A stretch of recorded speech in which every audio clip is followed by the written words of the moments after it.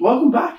Uh, my show is designed, I guess, to have people on one, two, three times, and I think this is the third time we've been on. So people must, people must like. Well, it's the only time that I've ever been invited back anywhere. So yeah, thank you. Normally nobody invites me back anywhere. Okay, so do I, do I just start questioning myself, maybe? Yeah, yeah, I think you have to take a hard look at yourself. you better get some. Either just mix with more people to get better guests. I don't know, but I'm glad to be here. I'm glad to be here. Well, one of the reasons I wanted to bring you back on was um, I went heavily on YouTube on this podcast, and your episode has been the most successful one that we've we put out, beating Jim Penman of Jim's Mowing. Wow. Wow. You told me last night you mow lawns as well. I do mow lawn, so therefore I can actually beat him at that as well. I'm a pretty good lawn mower. It's about the only thing I can do. I'm the worst handyman in the world. Um, and like my wife has had to put up with this for a few decades, but even if there's just a loose screw on one of the hinges of the door, we've got to ring up MacGyver and just get him in because I, I don't know what to do with a hammer. The only thing that I'm half good at is this marketing. So everything else, I'm just a hopeless human being.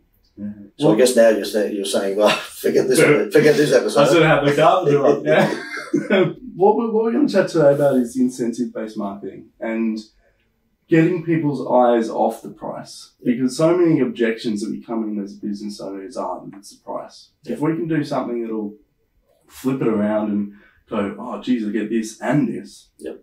That's awesome. Yep. I, I want to start with the story of you in a boardroom, um, high execs. You came in and you threw a Happy Meal McDonald's toy on the table with these, you know, suits, and you're going, here it is. Yeah. Um, tell me about that story. Well, I had been to one too many Anthony Robbins seminars, I guess, and uh, you know he says break the mold. Well, of course, you don't have to say that to me twice. I thought, well, that's a good idea. So it just means that you know you get their attention with some sort of wow factor. And my business, as you know, is called the Institute of Wow. So therefore, I guess if anyone's going to try the wow factor, I'm going to try it. And what had happened is that this building society called the Greater Building Society, they had contracted my consultancy services to have a look at how they could sell more home loans, basically.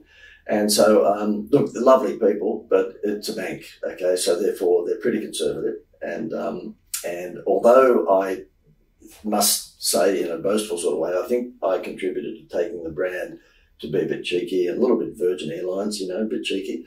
And we took it up to the banks, if you like. Um, that it was, it was, I was a speedboat dragging an anchor, right? They, it, they're a building society, so they were very conservative. So I thought, oh, this Anthony Robbins thing, break the mold. What, what the hell am I going to do? And as it turned out, I was there for two or three months and I did my time and motion study and I could see that their marketing was pretty bland, let's say.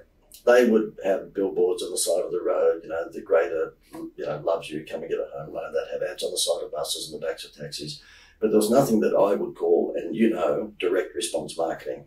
And I haven't seen anybody um, yet take down um, a logo off the back of a football jumper and go, I'm going to get my home loan from those people. So it was a challenge to teach them direct response marketing. And so after three months, when I could see that they were doing everything that every other bank was doing, and yet they were a challenger brand, so they needed to do things differently from the big four banks, I thought I'll try Anthony Robbins thing. I was doing some TV commercials for a travel company at the time, which was a, a wholesale travel company, typical morning TV, Kerri-Anne Kennerley stuff. And I knew that you could get holidays for pretty much you know half price. So I said to the building society, um, why don't you forget price discounting as in a honeymoon rate uh, in, with your interest rates, and why don't you just give people a free holiday? Um, but before I did that, I had to get their attention. So, yep, Anthony Robbins style. I walked into the boardroom. There's a whole bunch of people with suits, and uh, I threw a Happy Meal toy on the table because I was there to present how they should market their bank ongoing. And of course, they knew I was a bit cheeky by that stage, and they said, oh, "Yeah, okay, very funny, very funny, Mister John. What, what- what's going on here?" I pulled out a hundred dollar note. I said, "You guys are all bankers, so therefore you'd recognise the value of this. I'll give a hundred dollars to anyone here if you can tell me the price of the Happy Meal toy." I said, "Who has a child or grandchildren?" They all put their hand up, and the Happy Meal toy box, the Happy Meal box, is sitting in the middle of the boardroom table. I said, "100 bucks to anyone who tells me the price of it." They never got within a dollar. They had no clue, and yet they bought a lot of Happy Meals. And I said, "Do you understand that the whole, you know, metaphor behind that is that we've taken McDonald's took our eyes off the price." And you know, I explained to them I had six kids, and this was some years ago, so they were still young, my kids. And I said, we spent six gazillion dollars on Happy Meals, but my wife and I could not tell you what they cost because it's all about the free toy. You know, it's interesting because I've explained this story to friends after explaining uh, the podcast, and one of them, we, we were a kid, he's gone, but the even more interesting thing about this is the kid doesn't eat, even eat the food. No. They just want the toy. No, And and they just want to go to McDonald's. Yeah, I'm telling you that with the six screaming kids that we had in the Tarago for many years, the hamburger, they'd take one bite and that was it. It was all about the Disney toy. So it's amazing. And when I tell that story from time to time, um, you know, business owners do, you know, those who are entrepreneurial do take away uh, a very clear understanding that it's not about price discounting. You've got to decide whatever price discount you are willing to give up, turn that into a Happy Meal toy. And whether it's a carton of beer or whether it's a movie ticket or dining voucher or whatever it may be, you know, stop price discounting because you know, if the Greater Building Society had continued to price discount on their interest rates, and let's just say the time was 4.5% and they went for 4.4, what do you think the Commonwealth Bank's going to do? 4.9. So the hardware store, who's opposite from Bunnings, if he tries to take Bunnings on price, they're going to smash him. But if he actually says, look, with every wheelbarrow, I'm going to give you a pitchfork or free shovel, they can't match that. That takes six months with a committee meetings to the head office of Bunnings before they could eat. So he would have six months free time. Yeah. Yeah. Price discount, they'll beat him in a heartbeat. You said to me last night, um, you make big businesses small again. That was a joke. That was a joke. and let me say Um, to you, no, no, no. we were having a few drinks But- and there was a, yeah, but what I what I meant by that is it's the decision making that's small. Yeah. Right, because the decision making be quick, and small decisions lead to big outcomes, and that's what I. oh, that's what you took That's away. what I took it as. Because I was really being sarcastic because we were there with another speaker and he was boasting, and most speakers and coaches, of course, are show offs, I'm no exception. And he was saying, "Oh, yeah, I take small businesses and make them big." And I said, "Oh," he said, well, I, "I change businesses." And I said, "How do you change businesses? He said, "Oh, you know, basically, I take small businesses and make them big." I said, "We're in the same business. I change businesses." And he said, well, "How?" I said, "I take big businesses and make them small." I had one too many beers. I'm Yeah, sorry. yeah. No, no, no, but I, I took it as the incentive based marketing that you do. In order for someone to successfully implement that campaign, they need to act faster. Yep. They can't sit in committee meetings and boardrooms and do it all that. So, can you explain to me what, for someone who doesn't know what incentive based marketing is, what, what is it? I can explain that too because I know everything. Have I told you that, Tim? Oh, yeah, few I know. yeah. absolutely. Just ask my wife and she'll, Yeah. roll, she'll roll her eyes. Right? Um, yeah, look, and, and seriously, I mean, look, the way I look at business, you know, having been around since you know, the 1840s now, so therefore I've, I've been involved with quite a few hundred, hundred, hundreds of businesses. As business is pretty simple. It's the people who run them that are complicated. so it's pretty simple. You've got to take their eyes off the price and uh, you've got to, you know, have good margin. And uh, when you do take their eyes off the price, there's a pretty good chance you're going to have good margin. Um, and incentive-based marketing is, um, as the name, you know, sort of, I guess, implies, is all about providing someone with uh, an incentive. I call it a Happy Meal toy uh, that's going to get them off the fence. Because let's face it, it doesn't matter what we're buying. Uh, we're all, you know, sitting on the fence for a certain amount of time. So to get them off the fence, uh, how easy is, is it to say, look, if you act by boom, whatever that time period is, we will give you an extra whatever it is and a, toy. So you know, like Kellogg's have been doing it, you know, since I was a kid at school. There's always a toy or a CD or something in the cereal box. Uh, Amazon uh, have been doing it very well with their Prime membership. If you become a member of the Prime Club, then you get free shipping, uh, you get free movies and free music and all sorts of stuff. The little coffee shop down the road, for God's sake, does it. So, you know, like if someone's watching or listening to this and says, oh, I just can't do that, you know, yes, you can. I mean, have a look at the little coffee shop down the road. I mean, they have the little coffee card, and when you get nine coffees, you get the 10th one for free. So that's an incentive. So, can you give me a, a specific example of incentive-based marketing that you've deployed in a company, and it could be the greater, um, and we could go into the Jerry Seinfeld, which I, I think would be a good answer. I also like the beer one, um, the, that sold grass, but maybe an, another example that you have of incentive-based marketing that is really, and then what are the, the, the figures behind that that it's actually been successful. Yeah, sure, sure. Well, let me touch on the turf one because that is a good one. That when I've been speaking at conventions or what have you, and I use that as an example, I've heard feedback from people weeks or months later who say, "Look, I've taken that and used it in a different way for my business." So it's probably a good one to use as an example because whoever's watching or listening to this could maybe take something from it and use it for their business. It's a turf farm on the Gold Coast, and they're up in the Tamborine Mountain. Uh, they're called ALC Turf, and um, really, there's probably no other product in the world that's closer to being a Me Too than a home loan because if you get $100,000 from Westpac, it's the same $100,000 that you're going to get from the Greater Building Society. So if you don't give them an incentive to come to you, it's only going to be the interest rate that makes the difference, isn't it? Well, turf comes pretty much close to that. I mean, grass is grass is grass. I mean, you know, this guy's got sort of watered grass on, you know, three acres or, sorry, 103 acres of it. The guy across the road's got the same on me, please. The grass is grass. And so I visited this particular guy. He happened to come on as a private coaching client. And uh, I drove up to the Tamborine Mountains, and he's a lovely guy, John Kelleher, his name is, and he said to me, uh, "Listen, I've got to get rid of this grass because we, we want to replant in time for spring." And I said, oh, "Okay, right. How much grass have you got?" And I'm in the middle of a mountain range, and he points to the mountains way over there, and the mountains way over there. He said, six kilometres of grass. I said, what? He said, as far as the eye can see, that's my grass. He said, we've got to move it fast. Wow, okay. So I said to him, who's your target audience? The first question, Tim, that you and I would ask any decent marketer. And he said, well, it's not mum and dads because they're going to buy one front yard's worth of grass. Said, we're after landscapers who are doing two or three or ten homes at a time. I went, okay, right. And he said, look, I've seen your ads on TV for the Greater Building Society because it was around about that era. And he said, I can see that, you know, get a home loan, get a free holiday. Is there something like that that we can do? And I said, there might be, but, you know, the purchase price for your grass is not enough to include it for a free holiday at the time. So I said, what do you think landscapers want? Because at the end of the day, you've got to find an incentive that suits target audience. Well, the toy with McDonald's is perfect. The kids press power, mummy, mummy, daddy, daddy, I want the Happy Meal. Well, of course, it's perfect. So I said to him, uh, don't you think beer would be good? And he said, uh, for landscapers, yeah. I mean, let's face it, 99.9% men, you know. So that's what we did. We came out with a campaign and we sent out a mailer because landscapers are not you know, real tech savvy normally, so therefore we sent out direct mail, but we also sent out an email and text and said for every one home's worth of grass, which will be 500 square metres for a front yard and a backyard, for every 500 square metres of grass, we'll give you a carton of Crown Lager. Now, tradies are normally used to probably drinking XXXX or two, so Crown Lager was, you know, yeah. Um, he rings me six days after we've sent out the campaign, and uh, he said, We've got a problem. And I thought, Oh, God, I hope it worked. What, what do you mean we've got a problem? He said, No more grass. He said, I don't have any more grass. I said, what? He said, the whole six kilometres is gone. He said, this has been so successful that even the pain in the backside clients that I used to have that would say, how much? And he'd say $5.50 a square metre. They go, oh, I can get it down the road for $5.20. And he'd have to drop his price. It was a race to the bottom. He said the biggest pain in the backside that he had rang up and said, I want 18 homes worth of grass. I need the 18 cartons of beer by Friday. I don't care about the grass when it gets here, but I'm having a party on Friday. So So the Happy Meal toy overtook the grass.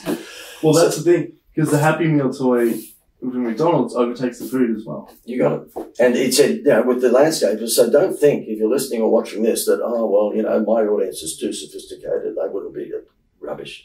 That's complete and utter rubbish. We lived at St. Sanctuary Cove for a little while. Uh, I moved up from Sydney to the Gold Coast, and when we were building our house, um, keep in mind we had six kids, so I had to build a house that had a few bedrooms in it. We stopped at Sanctuary Cove for 12 months whilst we were building. Now, Sanctuary Cove, for anyone who might be watching this, of course, is a gated, very upmarket community. Um, my wife killed me because she sent me up a few weeks in advance to look for someone to, somewhere to rent for 12 months. And of course, you know, I don't have the, I don't know the value of money. I just went straight to Hollywood yeah. and, and Sanctuary Cove. So I was in trouble for 12 months. But anyway, we lived in this very nice gated community for 12 months. And I ended up having a couple of clients who were restaurants in the, uh, in the village there. And I gave them this sort of advice. And so therefore they would give incentives and that would be, you know, come and dine on a slow night. It might be a Monday or Tuesday night and we'll give you an incentive, as in a free bottle of wine and free beautiful dessert that was, you know, created in one of the MasterChef TV programs. We're going to give you the grand final dessert for free, right? Jammed their restaurants on Monday and Tuesday night. Now, these are rich people. Sanctuary Cove, you know, we're talking homes that are two and three and five and ten million dollars, and they reacted to a free incentive. So don't tell me that, oh, well, our, market is a bit unlike, you know, our audience is too, too sophisticated for that. That's rubbish. Rubbish. Everyone likes value. Yep. And what you're doing is you're value stacking an offer to make it go, well, I wanted to buy this anyway, but now I'm also getting this other thing. You got it. And Tim, let me say this to you: is that the most successful incentives are ones where the um, the the gift, if you like, has no relationship whatsoever to the product. And the reason I say that is because I've been a member of ADMA for quite some time. That's the Australian Direct Marketing Association and they have their Logie Awards every year to you know give out the most successful you know um, sort of promotional incentives. And the ones that generally win are ones where the Happy Meal toy, if you like, has nothing at all to do with the product. So if you think about the toy, it's got nothing to do with hamburgers.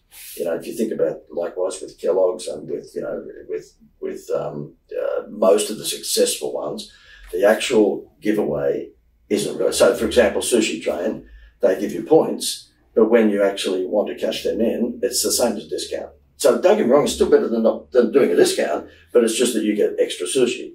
My view is it would be better if they got a movie pass.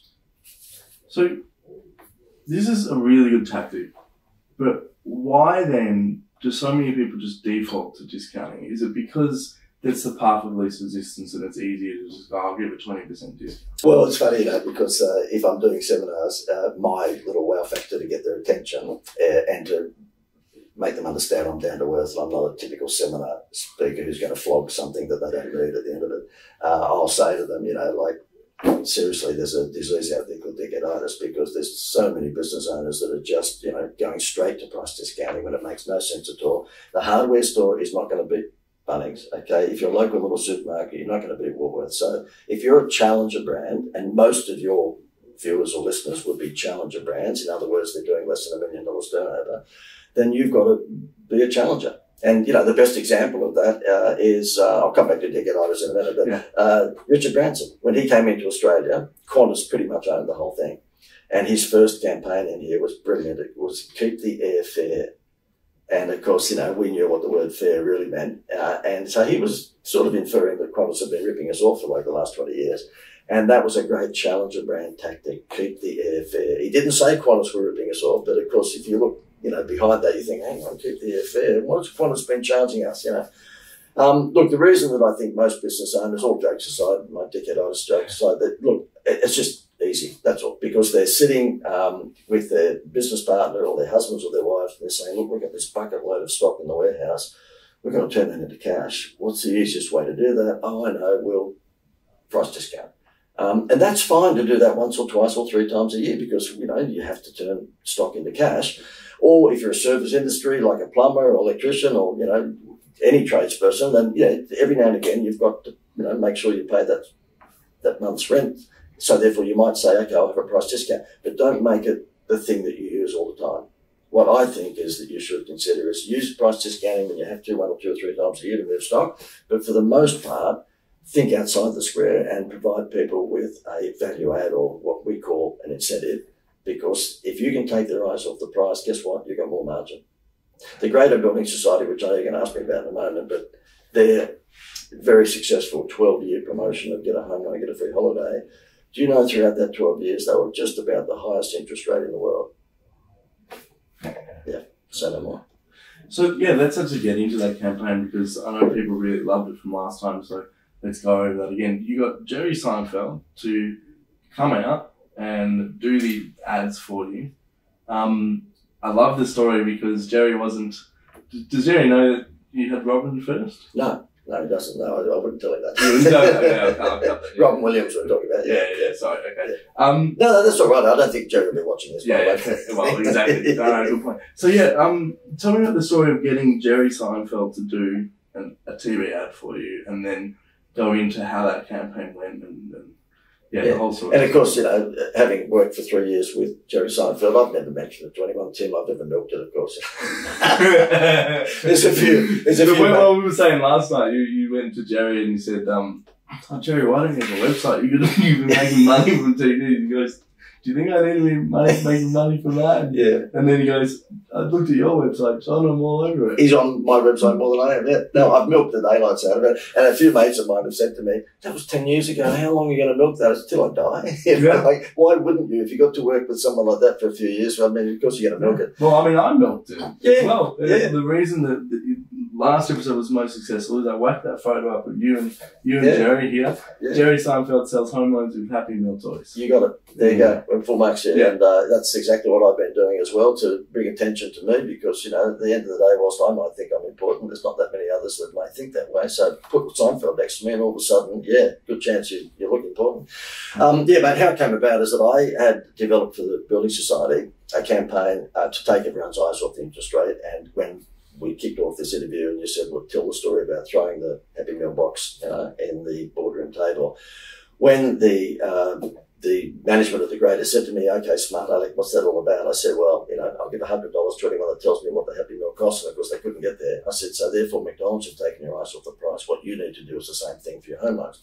And they went, okay, how do we do that? And that's what I said to them. Look, stop doing the honeymoon rate, which was a 1% discount for the first year, like every bank had, and turn that into a free holiday. And so I introduced them to the you know, travel company, and that's how it worked. So for about five years, they had get a home loan, um, get a free holiday. No Seinfeld. Okay, Seinfeld wasn't around at that time.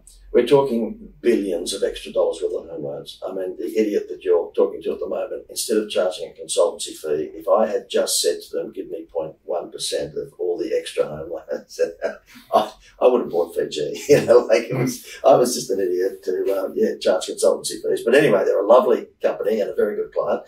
And I was with them for 12 years, but for the first five years, it was get a home loan, get a free holiday. So we marketed on, you know, social media and TV and it went nuts. Uh, and around about five years in, the management said to me, look, we've scooped up a lot of the low-lying fruit, uh, and building societies tend to appeal to a working class audience. So therefore, we scooped up a lot of that audience. They said, do you think we can go maybe to middle white collar management, you know, level, get, we go up a level and try and steal some of the bank's customers? And I said, yeah, but we're going to have to look at this a little bit differently. And they said, well, okay, go away and come up with something. A friend of mine at the time had just finished doing the Billy Connolly ING ads. And I asked him, how did he do that? He gave me the tips of how they got Billy Connolly and all that sort of stuff.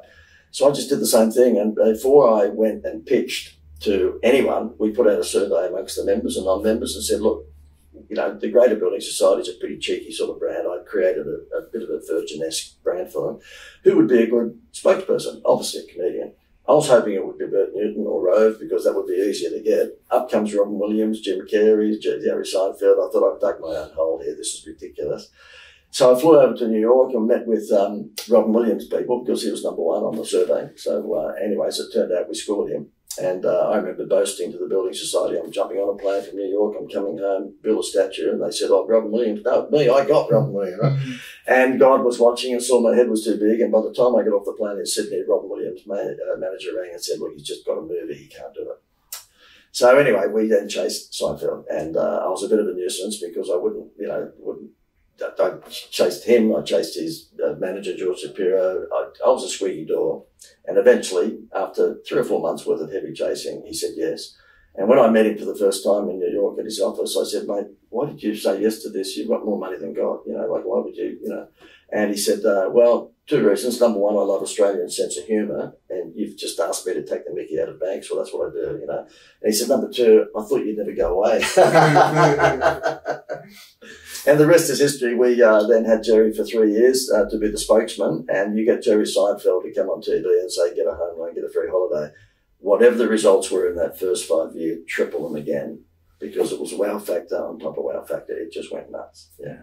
And the, the story you said, uh, we were having a beer last night, Dad, but look, Tim's got an alcohol problem, so um, he's from Melbourne, I'm on the Gold Coast, so we, yeah, we, us Melbourne people, we, we are. yeah, well, yeah, of course. So therefore, last night we were just having a few tall stories, and um, and I said to him, yeah, at one stage when it was off camera, we are just having a coffee and what have you. Imagine what a thrill it is to be able to work with Jerry Seinfeld.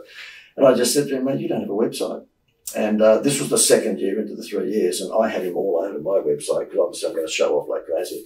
And uh, he said, no, I don't. And I said, but imagine if you could sell the Seinfeld caps and T-shirts and this, that, and the other. And he says, he had reading glasses on. it. He was like the school headmaster slapping. He goes, JD, do I look hmm. like I need to sell too many caps and T-shirts? I said, I'm sorry. And he said, besides, why would I do the website? He said, I've looked at yours. I'm on there more than you. I said, oh, touche, touche. Yeah, that's really good. So the reason that campaign was successful, Jerry Seinfeld got the attention of yep. people. Yep. So here's TV ad, Jerry Seinfeld holding a microphone being funny. Yep. So the creative of that ad was really successful because then it would have created shareability.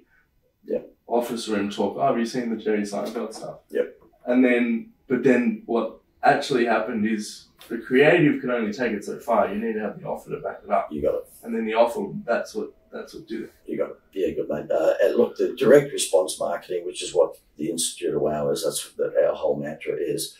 If I'm dealing with businesses largely that are doing less than a million turnover, they can't sponsor the Brisbane Broncos. They can't sponsor the Commonwealth Games or the Olympic Games. They can't do any of that sort of stuff. Um, and, and also I say to them, listen, you tell me when was the last time that you saw a logo on the back of an NRL or AFL jumper and then you thought, oh, I'll go and buy that product. You know, it's just like they're, what was the castle movie? They're dreaming, you know, like it's just crazy. But big businesses can throw money up against the wall like that because the marketing manager is not going to be measurable in terms of you just gave five million dollars to the Essendon Football Club. How many more whatevers did we sell? Yeah, they're not. They've, they've got different goals, different KPIs. They they care about eyeballs seeing them, and and it's just so many small businesses think, oh, I've got to be like Coca Cola. Yeah, I've got to be everywhere. I've got to be. I, I, I literally had these conversations yeah. with people and I say the reason Coca Cola can do that is because they've got a budget that lets them do that. Okay. But they didn't start there back in the 1800s when they started their business. Yeah. But now they've got the budget to give them that ability of omnipresence. But us, businesses turning over a million dollars, Yeah. we don't have that No. ability. But No. they try to. Well, it's because- It's because they're given the wrong information. Seriously, I mean, the thing is, is that even when they sponsor the local little basketball team that their son or their daughter plays, So I saw one yesterday, client's office. Did you? Yeah, he sponsored a player. or yeah. something. Well, see, I, I, with six kids, we've been to a few Saturday morning basketball games and cricket and whatever else. I've never seen a parent there with a pen and paper going, uh, number six, could you slow down? I want to get the butcher's number off the back of your jersey. It's just like dickheaditis. Yeah, it is. It's, it's, it's silly, silly throwing money at stuff like that. Unless you get the name and contact details of the parents of those kids. And then you start using that list, and that's why you bought the sponsorship. It's all about, you know, um, collecting data, of course, and then, uh, you know, marketing that data. I, when I was doing the Greater Building Society consultancy, it was almost a bit crazy because I was not a full-time employee. I was charging the consultancy fee. But just about any sponsor request that came in, they'd say, what do you think? I mean, no, what do you think? No. I've just said no straight away because sponsorship to me is a waste of money unless you've got the data. So therefore, the Greater Building Society's head office is in Newcastle. And um, although they had a national presence, it was in Newcastle. So the Newcastle Knights rugby league team came and asked for a sponsorship. I forget what it was, hundred thousand dollars to put your logo on the shorts. Yeah, on the shorts. Yeah. And I said, no, we don't do any hundred thousand dollar sponsorships. And uh, they said, oh, right. And what do you do? I said, uh, two hundred thousand. We only do two hundred thousand sponsorships, so we'll give you two hundred thousand. And I'm taking the, you know what. And the guy from the football club goes, well, we can do with that. He thought he'd just hit pay dirt. He hadn't realised my sarcasm at that stage. And I said, yeah, only one condition. And he said, what's that? I said, you just give us the name and contact details of the 20,000 people that come to your game every fortnight. He went, you can hear crickets in the background. He went, oh. I said, mate, there's no, when was the last time you were watching TV and a sport? And you go, oh, I, that logo on the shorts, I'm going to get a home loan from them. I said, you know, the only value that we can get from this, and same thing, we had the New South Wales junior cricket um, mob come to us, and they had 50,000 kids playing cricket right throughout New South Wales. Said the same thing, you give me all their parents' names and emails and phone numbers uh, with access to them, right, and we, you, we'll give you the money that you want. But Yeah. they don't. And I think they, they've started doing that. So I guess um, I can see the benefit of if you've got the budget and you do sponsor, but you've got to use it. You Mm. can't just buy the corporate suite and let it sit there or, or put the thing. What Amart Furniture, I got my pack from Essendon Football Club as a, a member. Um, and what they've started to do is you get your pack, but then you also get an incentive. Yep. Yep. Here's, and sadly it's a discount, right? It? So, Okay. so they've wasted Yep. their, Yep. here's Instead of an autograph instead of memorabilia. order, Yeah. like here's twenty percent off Amart Yeah. furniture, right? So they're starting to do incentive based sponsorship. Yeah. But it's too late. Yeah.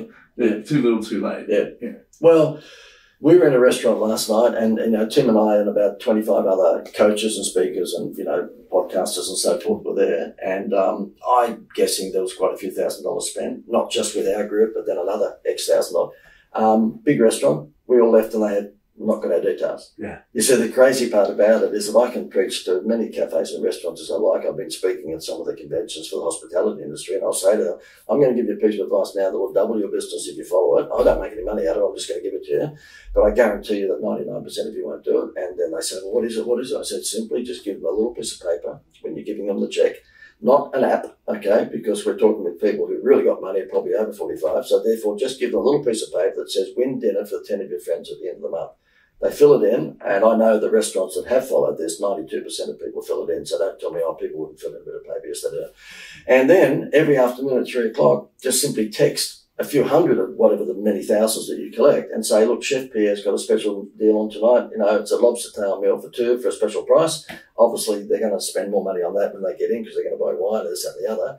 Um, and you will fill your restaurant every single night by sending out a text message in the afternoon. I, we have a client that does it. It's called the Lobster Cave in Melbourne. So I know the Lobster Cave. Yeah, yeah. I used to be a client of company I was working. For. Bill Ferg, really super duper entrepreneur. He did this, and I was there one day with him at his office uh, underneath a 150 seat restaurant. He calls in his you know secretary and said, "How many seats have we got full?" She said, "A half." Is we've got 75 to full, so send out one of JD's. By the way, I'm saying J, John Dwyer's my name. Yeah.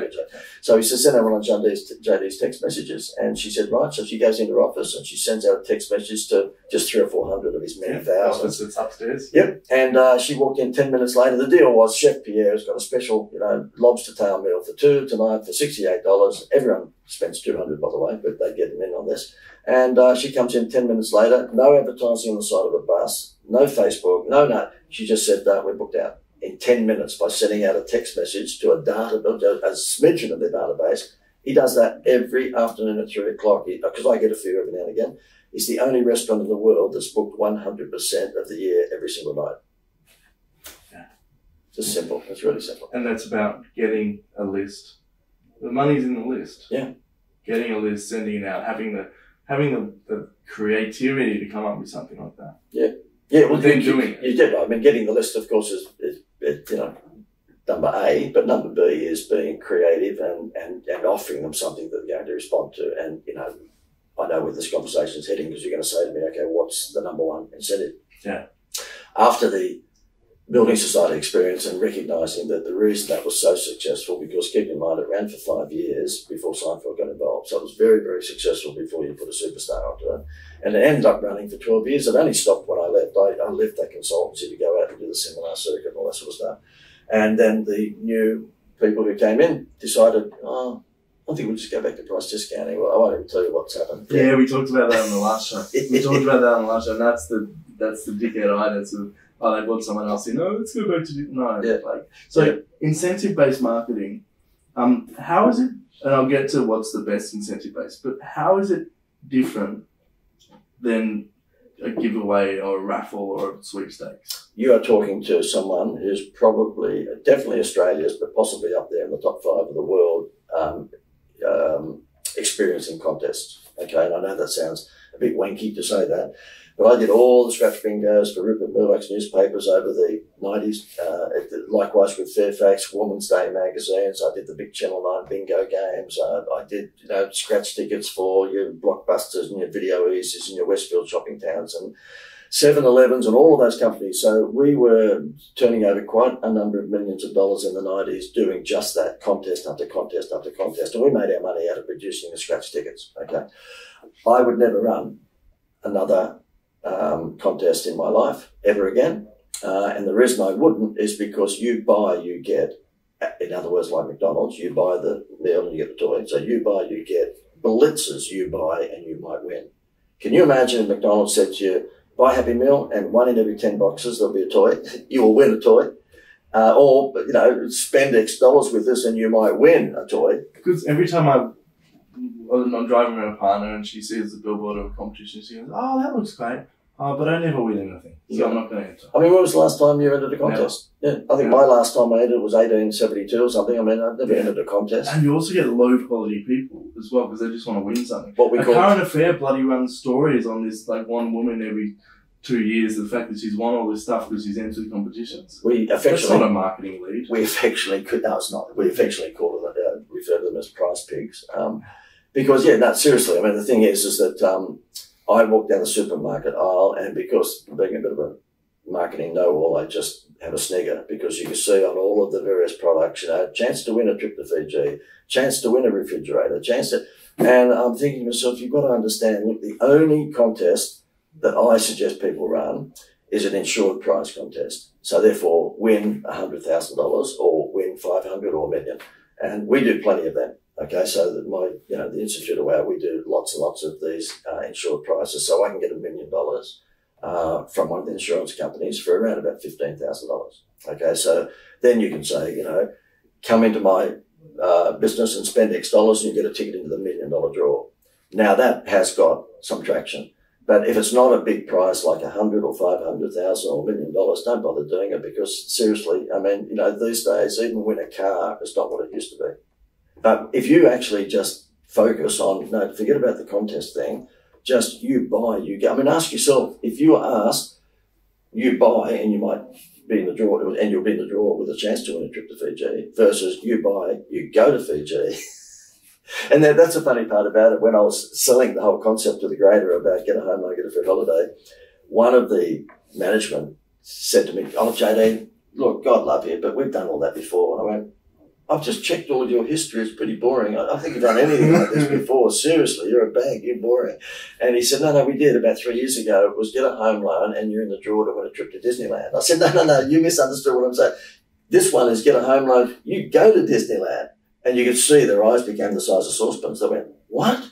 How does this work? I said, you don't give out the 1% honeymoon rate, which on a $500,000 loan for the first year is five grand. You give the five grand to the travel company and they'll give you a 10 grand holiday and the penny dropped. They went, oh, you get a home loan, you don't go in for a chance to win Fiji, you go to Fiji. Yes. And that's the thing. So that is incredibly successful. I want to lead into now, you do this now for small to medium businesses and the best incentive based marketing, especially after what we've been through for the last two years, would be a holiday. Of course. Yeah. So your program, you basically get people, you buy my product and we'll give you a holiday. Yeah, Tell me about that. Tell me about you. Yeah. Yeah, what's happened, uh, Tim, was about two and a half years ago, I got contacted by a company out of America, which is a travel company. And they said, listen, um, someone told us to give you a, a ring, um, and it was a mutual uh, colleague. And uh, they said, we've looked at what you did with that building society some years earlier, and uh, we saw the Seinfeld thing, so it was pretty easy to Google and find. You seem to have half a clue with this marketing thing with incentives. Um, we're a travel company we've been able to secure four star hotels globally, um, and we get the rooms from them near enough for free. Because for around about um, 40 weeks out of 52 weeks of the year, in other words, outside of school vacations, hotels generally run at about a 30% vacancy rate. And if they've got a 30% of their rooms vacant, they're still paying for air conditioning and cleaning and all the overheads, but they don't have anyone in there paying the room tariff. They may as well give that to us to put into a promotion that we sell to businesses and fill those rooms with freebie guests in the hope that those guests will spend money on food and beverage at the cafes and the restaurants and, you know, room service and cocktails by the pool. I went, oh, brilliant. This was brilliant. And they said, listen, can you create a package whereby we can sell this to businesses? And it's a win-win. The business has, you know, Happy Meal toy that they could never, ever possibly negotiate themselves these are all four star hotels. You're talking your Novotels and your Sofitels and your Rydges and all that sort of stuff. So they're not, you know, Mount Druitt Caravan Park, right? And uh, how about you put this package together? And if it works in Australia, um, then you can bring it into America and the UK, which is what we've just done. Uh, so that, that was it. And just about three or four months before COVID, we set it up. Um, we advertised it on Facebook to business owners and said, look, how would you like a Happy Meal toy, which is just crazy? We will give you these four day, three night holidays in Australia and New Zealand. Um, and in Fiji, it's five days, and in Bali, it's eight, would you believe, eight days holiday. We'll give these to you that are worth $1,000 or more for $97. We got smashed, absolutely smashed, because people would buy a unit of 50 holidays from us, because obviously there's a minimum quantity, at $97, so they give us $4,850 but they get 50 times a thousand dollar value. So they're getting $50,000 worth of holidays. It's just nuts. And they use them to sell stuff. So if you're a furniture store, you'd say, buy a lounge suite off me. And normally that lounge suite might be, let's say, $1,000. If they put a 10% discount sign outside, I don't think anyone's going to rush in, not with Groupon being 50%. But if they say buy a lounge suite and we'll give you a free four day holiday in Australia or eight day holiday in Bali, um, then it'll still only cost them the same as 10%, but you think it might be rocket fuel? Yeah. So what's happened is that over the two years throughout the COVID, um, we did, even then, because we pivoted and made all the holidays in Australia rather than Fiji and Bali and Phuket and everywhere else, uh, we still did okay. I mean, there was a few months there when state lockdowns, of course, you know, but um, now, yeah, yeah, the last month was our biggest month ever. Um, and, you know, if you think about incentives at the moment. You think, okay, what would be the best Happy Meal toy I could give anyone to buy my service or, or product? I, I, think a holiday might be it after all we've all been through. Yeah. yeah, yeah. What about the person who's like, oh, my product, if I gave a holiday to someone, you know, um, it's not. Of, we touched on a little bit before. It's like, oh, it's not my brand. It's not my business. Like, uh, it, it wouldn't make sense. It would feel cheap in Yeah. a sense, right? Yeah. What do you say to that person? Normally, you should go and seek help for dickheaditis. Yeah, seriously. Look, the reason holidays work more than anything else is because they're universally appealing to both sexes and all ages. We did a lot of research with the Greater Building Society, so I'm very grateful because now I'm making money out of it. But you know, the Greater Building Society, whilst I might have thought, gee, I wish I was getting a piece of the action because I could see what the holiday did to the home loans. I have to say, because it was a big business, it's Australia's 250th biggest business, right? So it's a big business. It's not as big as the Commonwealth Bank, but it's big. Yeah. So we could do a lot of research. And when we did the research and found out, you know, because we gave away 3D TVs for five minutes until we found out that didn't work. You know, 3D TVs, please. I mean, yeah. Yeah, well, I, I saw it the other day. It's like, I'll buy a tablet and you'll get headphones. Yeah. Right, but Yeah. it's like, hang on, I already have headphones. Yeah.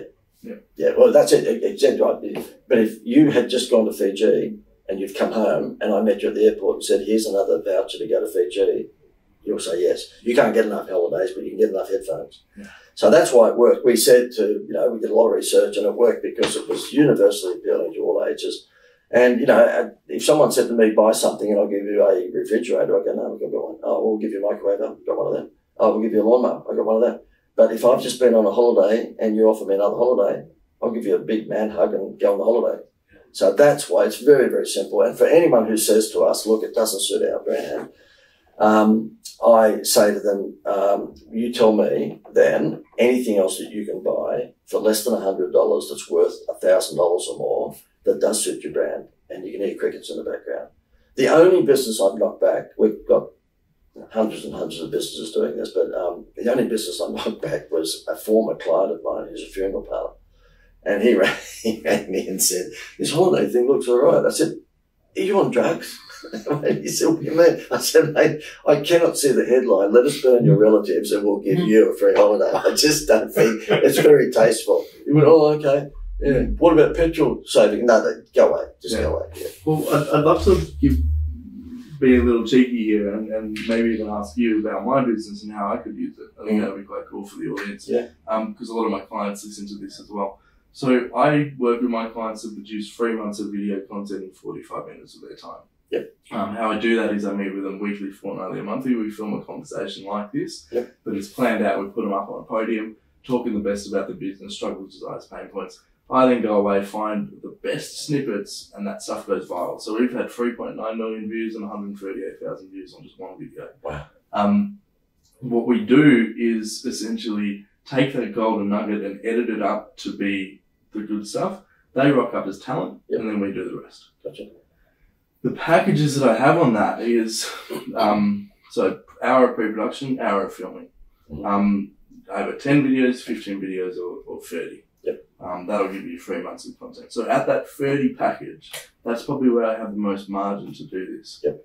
How would I implement this in my sales process as, okay, cool, if you come on board at the, at the 30 and yeah, do the filming, like this is how I'm thinking of it in my head. Mm. Oh, you'll be so tired after the filming, I'll give you a holiday.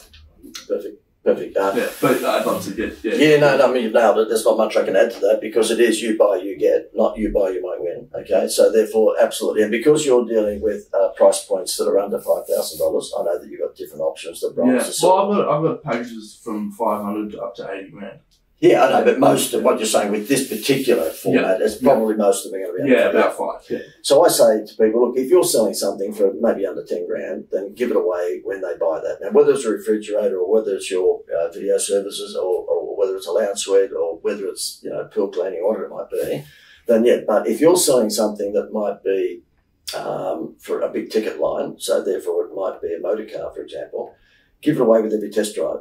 Because you know that for every test, uh, 10 test drives, you close three sales. So if you pay me three times $97, Mm. and you, uh, sorry, sorry, no, if you pay me for 10 test drives and each one of those test drives, this happens to be one of the vouchers. I yeah, so, yeah, so therefore what would happen is that, you know, people would come in and you go, listen, just take a test drive and I'll give you this voucher and have a free holiday. But I know as a car salesman, I'm probably going to close on average three of those test drives. And I've just sold three $50,000 cars and I paid out 10 times $97.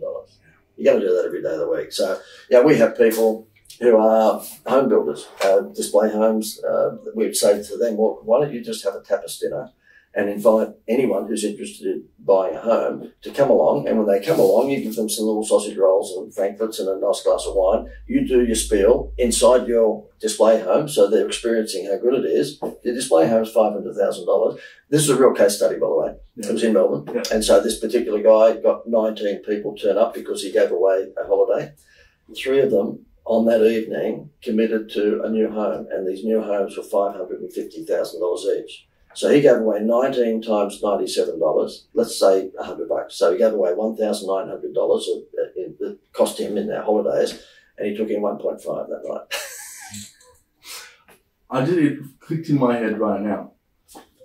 People they already want the product, so they come because they're interested in property, right? Yep.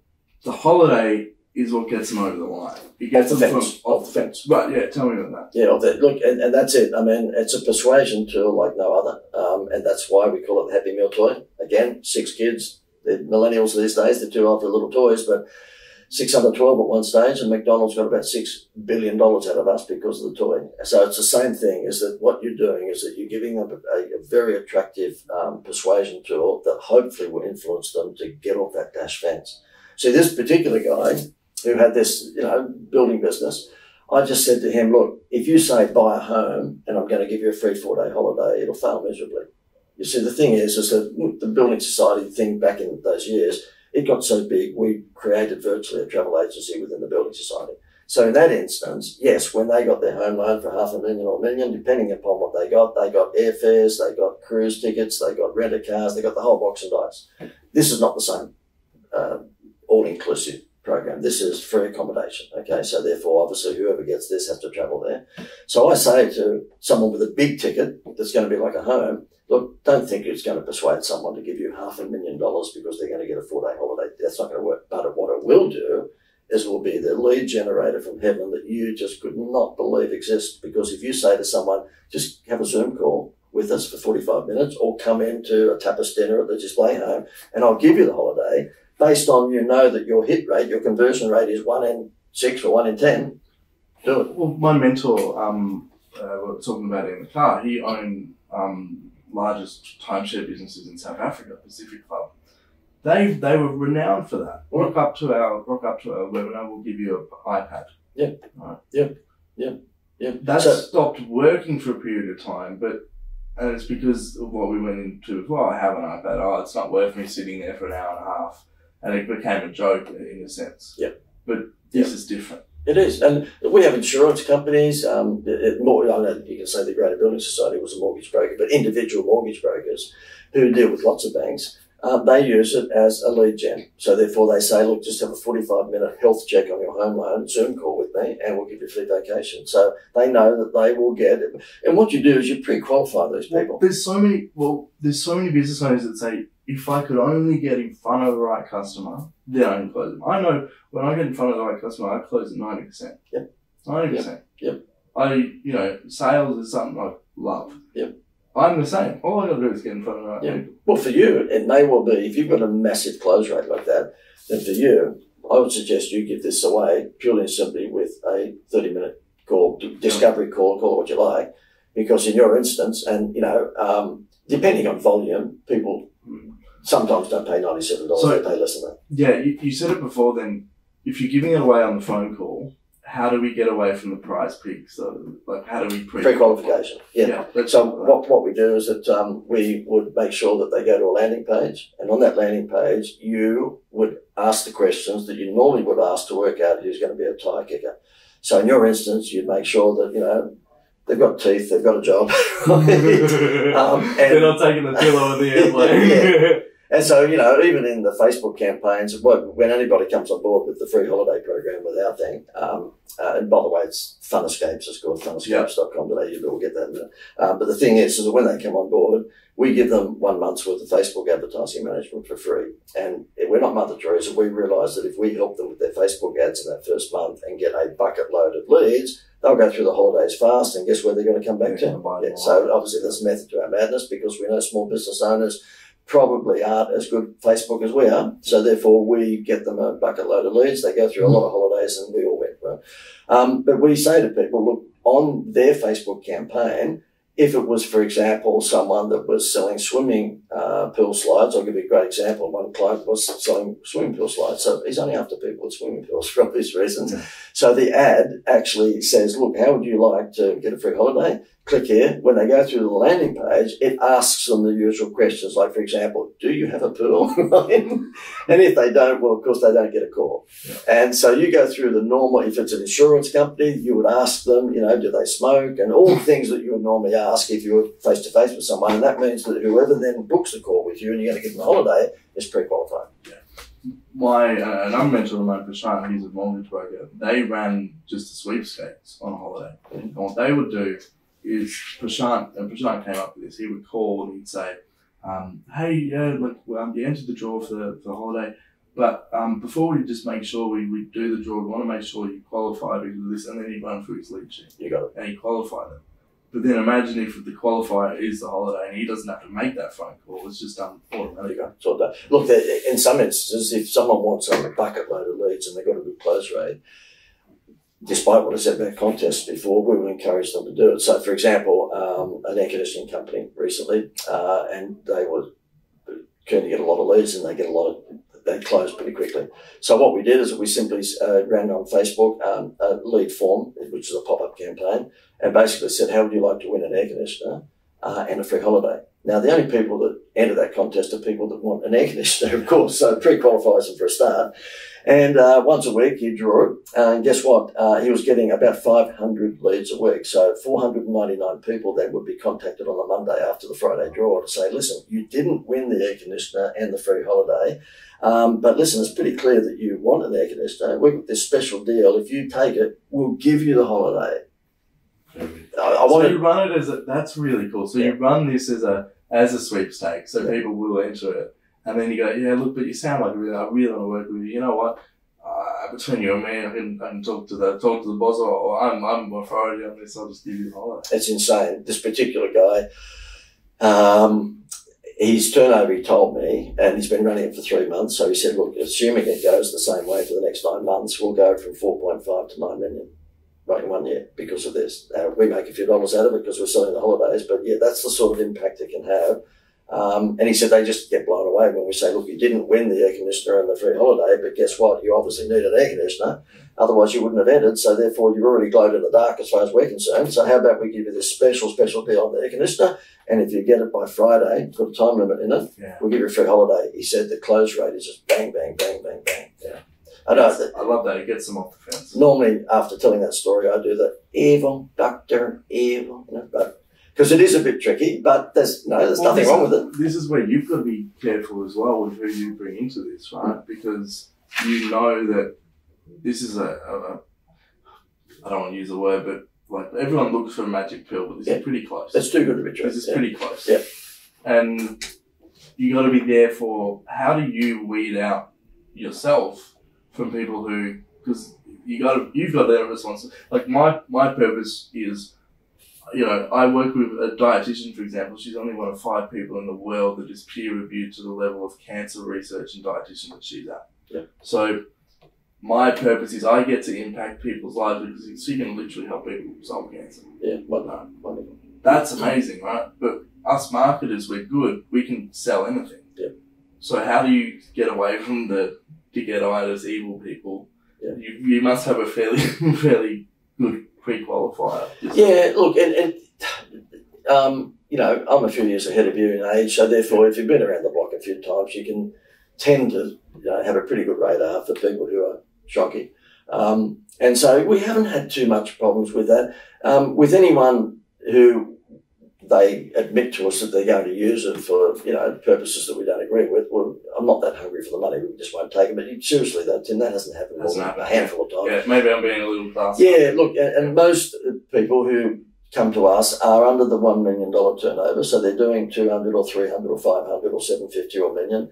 We would have probably about 15% of our sales go to people who are doing twos and threes and five millions. Um, Yeah. This is not for Harvey Norman, um, Right. or it's not for Bunnings. Um, What if Harvey Norman came to you and said, I want to do this? Would you do it? um, I'd be in a retirement home by the time they made up their mind. yeah. And so the thing is, is that when I've had people knock on my door as salespeople and go, this is unbelievable, this is the easiest thing in the world to sell, I say, yes, it is, as long as you can handle um, the objections, because something that looks too good to be true, everyone will say, oh, come on, there has to be something behind this. And you've got to go through the objections. And Yeah. um, I've got to explain to them that the only reason this has come about because hotels realise that if they're running a 30% vacancy factor, there's nothing more perishable than tonight's hotel room for that hotel. They can't sell it tomorrow. It's not like a fruit shop when your banana goes brown, you sell it for half price. You cannot sell tonight's hotel room tomorrow.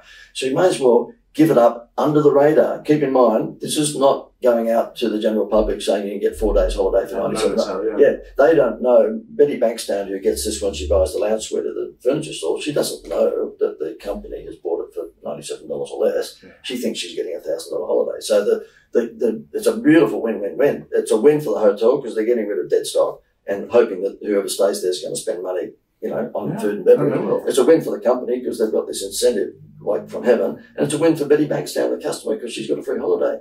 So the thing is, is that I have to say that um, in terms of um, super salesmen knocking on my door, go, oh, this is the easiest thing in the world. So it is, but you've got to really understand the product to actually be able to answer those questions. It's too good to be true because it sounds too good to be true.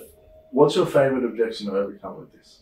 Um, the probably the one that um, I get most from businesses. Um, and look, it still is an easy sell. Don't get me wrong, it still isn't because it's so crazy.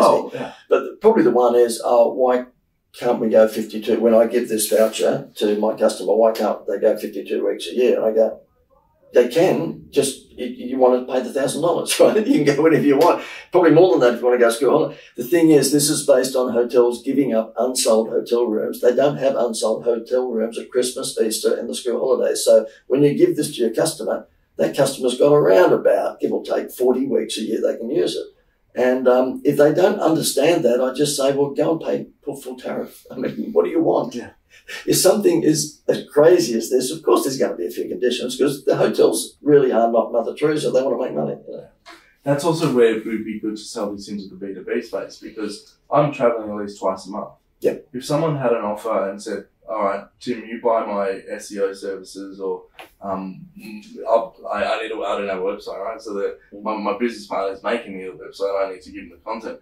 But if I didn't do that deal and then someone said, okay, you buy a website from me and Tim, I'll pay for your accommodation the next time you go up to Brisbane. Like I know the dates when I'm because I, I try and organise my filming around a particular networking event. Yeah. So I know those dates, and if I can book out a month Yeah. in, in advance, like Yeah. It's a no brainer. And if someone said, "I'll pay for the your next," I, I've done it for a client. He came on board. Um, it was the I, I love this story. So it was eleven fifty eight p.m. We were doing the sales call, um, and it was about to go to midnight. And this guy needs to go more, do more networking. I knew there was one in Sydney. I said, Sean, if you come on board and do Google ads for me and we do more marketing, um, and you say yes, I'll um, fly your ticket. I'm, I'm up in Sydney next week. I'll fly you up and um, we'll both go to the networking event. And by the way, this deal only lasts for another two minutes. There you go. and that was, he, he, he laughed and I threw that incentive in. There you go. You have to Look, do uh, Tim, you're spot on. And because you've been around the whole marketing uh, sort of area, then obviously, you know, it comes second nature to you. But for a lot of business owners, they're great technicians. So they're a good dentist or they're a good landscaper or whatever it might be, but they're not real flash at marketing. So over the years, this direct marketing, uh, direct response marketing stuff um, that I've been, you know, preaching is normally pretty good news for most of these businesses because they can't sponsor the Brisbane Broncos. You know, they don't want to spend money on the back of buses or, or, taxis. And it's been direct response, which, as you well know, um, is based on identifying a problem, aggravating the problem, providing the solution, providing proof, which is normally testimonials, and then a call to action. Most of the time, you know, Jenny Craig, uh, identify the problem. Are you overweight, not feeling good about yourself? Aggravate the problem. You know that summer's just around the corner. You want to look good in the swimsuit. Provide the solution. Um, come on the Jenny Craig program and you'll lose all that weight. Provide uh, proof, which is testimonials saying before and after, this is what I used to look like. And then call to action, go to jennycraig.com. Now, most people understand that problem solution scenario, but they don't have number five, which is call to action. Their call to action is not like what you just said then. I'll give you a special bonus, but you got two minutes. They just go, I'll go to my website. This here provides them with that insane call to action. So therefore they say, look, you've got a problem and that might be that, um, you know, your garden's out of control and I'm a landscaper lawn mowing guy. I can fix it for you. But if he just, just says, then go to my website or give me a call whenever you're ready, that's nuts. Call me by Friday. Has to be by Friday, and you get a free holiday. It's rocket fuel, rocket fuel, which is what you did. You got two minutes. yeah, it was good. Yeah, yeah, and we had a good relationship enough for me to do that. So it was, Yeah. it was fun. I think that's a really good spot to, to leave it on. But I've got a, a bunch more sort of quick fire questions, and we'll get into also. Um, you've got a really cool offer for, for our listeners as well. So thank you. Um, one of these questions I love this. Um, Walter actually gave this to me last night. and I wanted to ask you because I think it's quite profound. Well, I've asked you a lot of questions today, Mhm. and you've been on a lot of podcasts as well. What's the one question you wish someone asks you about? Uh, you mean work wise or just life? Just life, Just life. anything. Any, what's something that people don't ask you about Um, that you wish you could talk about more?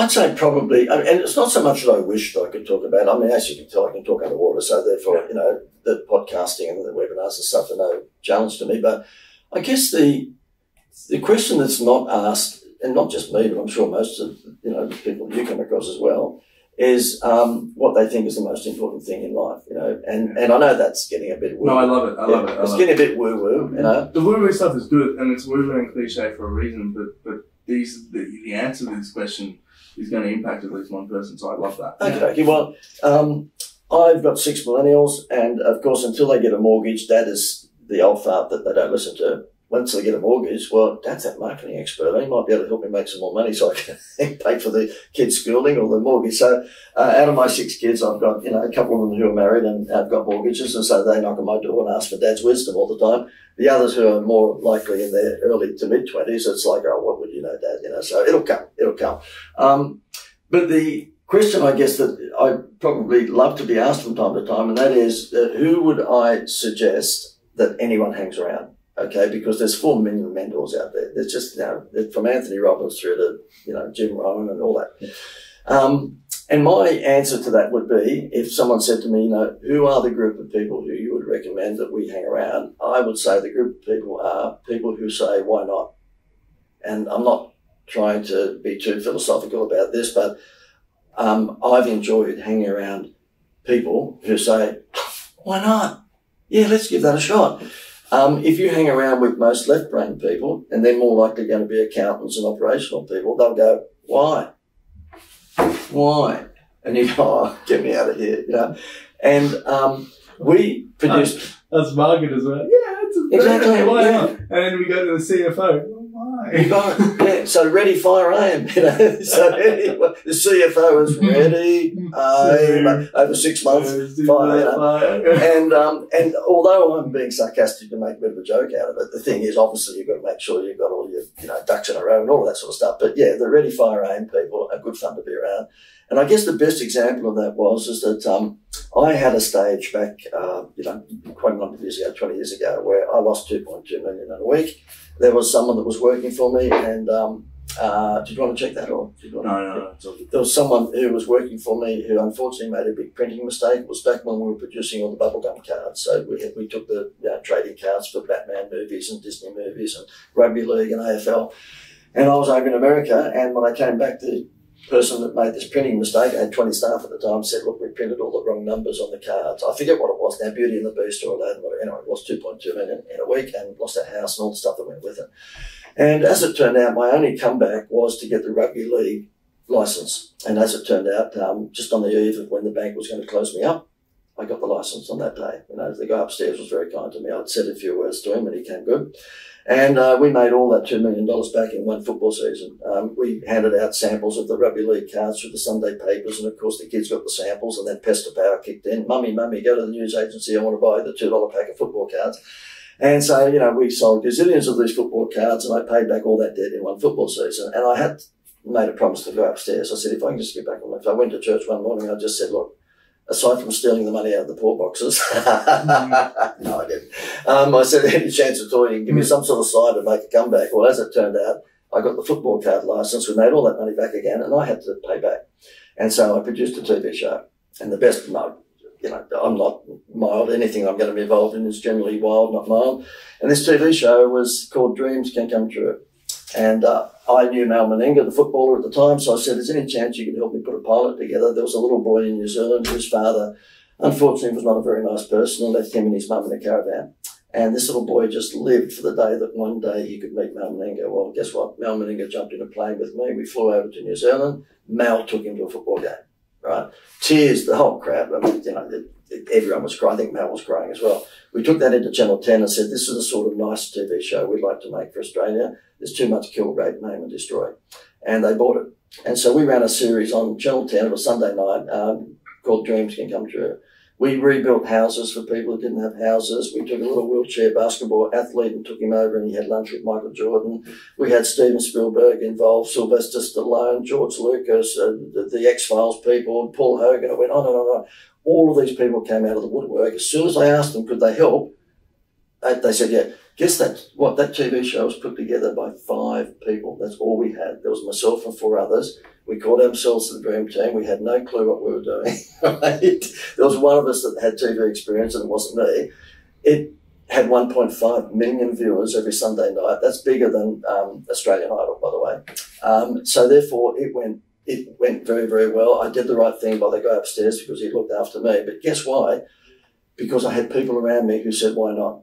When I would say to them, "Listen, um, is, is there a chance we can get Steven Spielberg to do this?" Instead of them saying, "Oh, come on, why?" They'd go, "Why not?" And I say, "Good, you get Spielberg." And then we'd say, "Well, we've got to build a house for this person. They don't have a house. We've got to give them a house. Who's going to talk to Marston and Holmes?" Um, they go, "Why not? Leave with me." So this TV program with all of these massive superstars, and we built houses, we got motor cars, we dropped food parcels in the middle of Australia to the indigenous people, all sorted. We needed jumbo jets, you name it. It was put at the end of the TV show because Channel 10 said to us, you've got to run your credits for 50, uh, 50 seconds. I had to make up friends' names. We only had five people to roll credits. and that's that's the other thing because the people who go, "Oh, why?" They overthink all the details and then Bingo. they don't do it. Bingo. I got Jim Pittman on this podcast because I just emailed him. Bingo. Why not? Bingo. So many other people go, "Oh my god, I had to, I'd have to do this and this and this." Like, they start overcomplicating. Same thing. Yeah. You just reached out to Jerry Seinfeld. Well, you know what? People say that to me. How the hell did you get Jerry Seinfeld? I said, a thing called Google. I don't know whether you've heard about it. Jerry Seinfeld's manager. Bang. And it was George Shapiro. He was in Beverly Hills.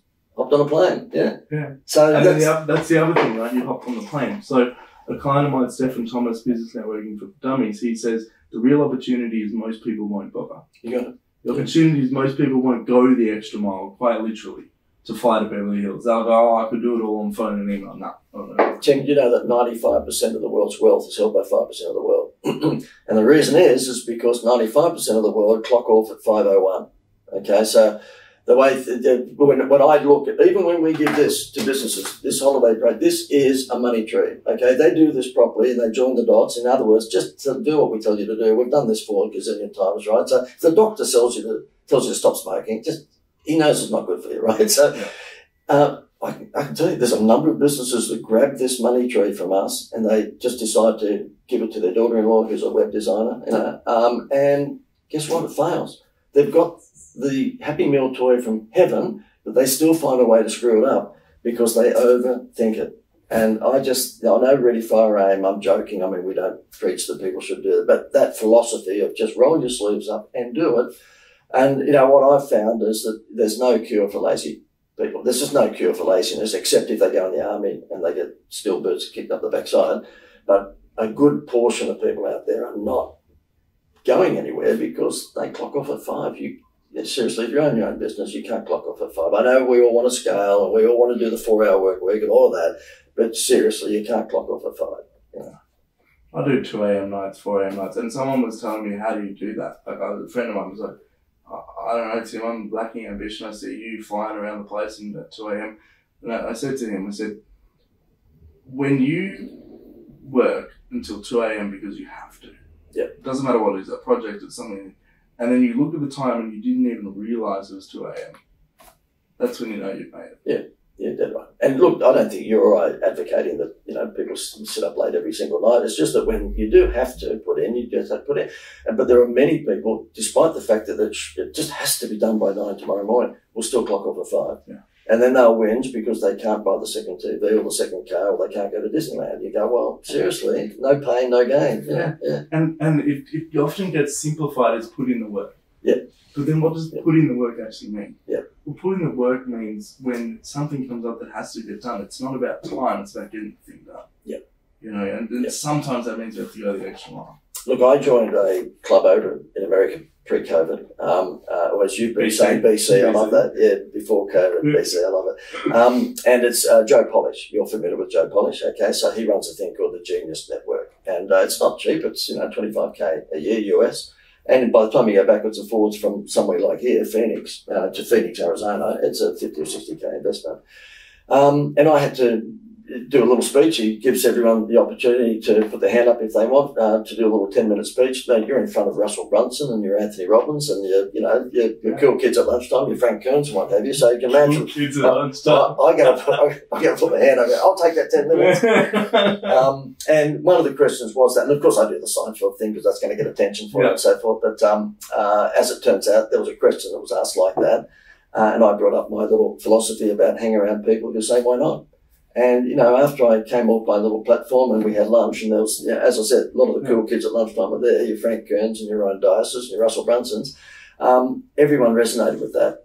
And I can tell you that everyone in that room, and they were all pretty big hitters, um, yeah, they lived by the philosophy of hang around people who say, hey, why not? Well, yesterday, prime example, we put on an event of 30 business owners. I had filming in Melbourne from, so I missed the event, but I had filming in Melbourne from 12 o'clock till 2. My flight was at 3 o'clock. I had to book it to the airport. Yep. I rocked up to the dinner with my suitcase, and everyone's like, "Oh, what? You, you're moving into the restaurant?" Because you hadn't been to the hotel. I've Yeah. been to the hotel. I checked into my hotel last night at two a.m. Yeah, yeah. There you go. because I wanted to hang around. I knew you were going to be there. I knew jo- Johan was going to be there. I knew Jace was going to be there. Yeah. Right. And it's not even a tactic. It's just that's who I am. Yeah. Right? It's a no-brainer. But someone else wouldn't. They go, oh, I got filming that day, Tim. Like, oh, like, I got to. No. Um, what you just said then made me think of another thing that I keep on boring, Yeah. boring the kids with, and it's a Jim Rohn uh, statement, I think, and that is show me your friends and I'll show you your future. And, you know, drug addicts hang around other drug addicts. That's just the way it is, you know, and positive thinking people who don't clock off at five o'clock tend to hang around positive thinking people. And that's what you just said about last night. Um, because it was a function where there was, I don't know, 25 or 30 people who were mostly coaches or speakers. And guess what? I think you would have walked, I, I know I did, walked away with three or four new connections that could make each one of us a good amount of money. Yeah. Yeah. So show me your friends and I'll show you your future. It's a very good statement. I think it was Jim Rohn. Yeah. I did invent the question mark though. I just Yeah. want to point that out. Yeah. I steal all the other sayings from other people. Don't you love that on the internet? yeah. I, I just, so they go, if you can dream it, you can do it. I go, that was Walt Disney. That was not you. that was not you. I have a dream. I have a dream. I, I saw this person. Um, uh, they they all they, people do it all the time. They steal theories from other people and claim it. I'm like, hang on, mate. I, I I looked at that in a marketing text. That's not yours. The other ones I love are the selfies because, um, Yeah. like, I, Oh, the, I, I seriously did work with Simon for three years. Okay, so therefore, uh, none of mine are selfies. It's all me and him behind the camera or in a Yeah. meeting or this, that. Now, obviously, I took a million photos. genuine stuff. Yeah, because I wanted to milk the photo. So I just told the cameraman, the photographer, if I'm with him within a yard of him at any time, you go nuts, right? Because I, I knew I could milk it thereafter. Um, but I love these ones where they stand next to Schwarzenegger or whoever the hell it is, and it's just a selfie. I mean, what the hell? Who cares? Yeah, and it's behind the banner with the, the branded logo of Exactly. the event, and then they run the. The funny thing is, I see them run them as ads as well. oh, really? I see them run them as ads, like they'll get a, a photo of Arnold Schwarzenegger, but it's behind the banner of the Yeah. event that they're at. They're like, look at me, I'm with Arnold. And it's like, you don't know him. You might as well get a cardboard cutout, yeah. Yeah. So, uh, but you know, the good thing about you and I is that we're perfect. Of course, we don't. Oh do yeah, any oh, yeah, yeah, no, no, no. John, I think that's a really good place to leave it. But let's touch on the, the offer that you want to give our audience. Um, if someone wants to do incentive-based marketing, give away a holiday with their product, right? We've got we're selling refrigerators, we're a mortgage broker, we're Swimming pool cleaner. Swimming pool cleaner. Yeah. I want to do incentive based marketing because now it seems like a fantastic idea. I've listened to you speak. What? Yeah. What are we doing today? I'm sorry, Tim, I can't tell you. We've run out of time. Ah, yeah, So okay. I was just, uh, yeah. Well, that'd be amazing. Is that here I am, um, you know, obviously wanting to give value as well, Yeah. but also want to flog my product, and then they go, no, No, I'm, I'm sorry. So this, this is the designated. Um, my listeners know this. I've, I've got a, a section here at the end. It's called pitch my product. Oh? So Okay, I that's, didn't that's know what we're doing. Okay, okay, good. Well, well, we won't turn it too much into an infomercial, but probably before I uh, pitch the product, uh, this is uh, a book. Every speaker has to have a book.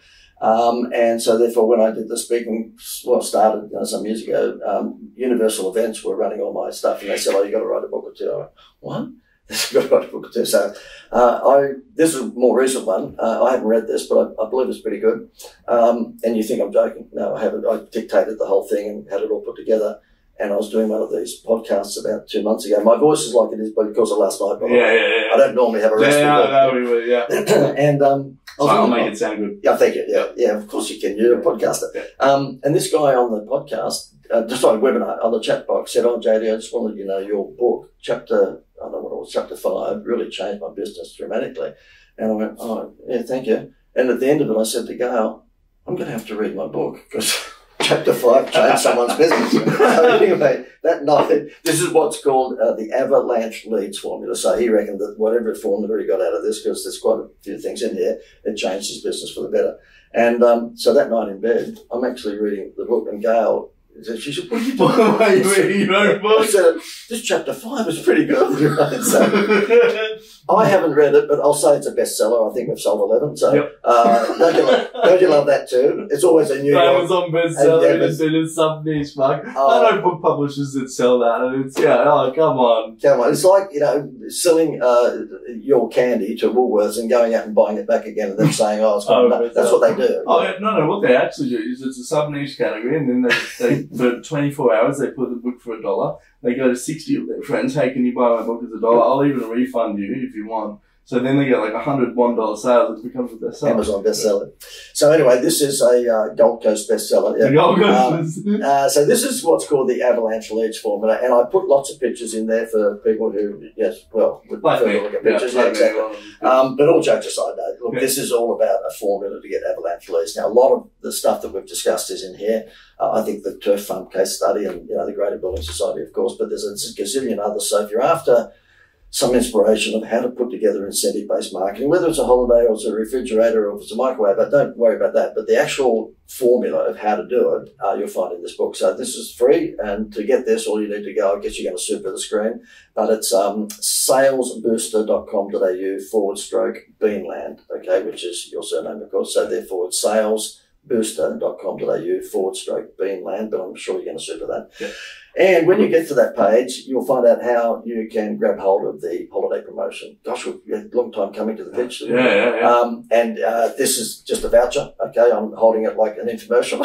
so uh, what happens is that when you um, uh, contact us um, at um, salesbooster.com.au forward stroke Beanland, not only will you fill the form in to get the book, but you can also fill the form in to talk to either myself or one of our team uh, to basically explain to you how you can run for your business. So I know that despite the fact that you might have been listening or watching to this and going, you know what, this is fantastic, but I still need to ask, how would I do it? No problems at all. We have a, a number of sales reps that can uh, help you out in that regard. The cost is 50 holidays uh, is the minimum quantity that we, we won't make money if we sell them in fives and tens. So therefore it's 50 holidays at $97. So that means it's 4850. Um, and that depends on volume. So if you want more volume, obviously like anything else, we can, you know, we can lower the price.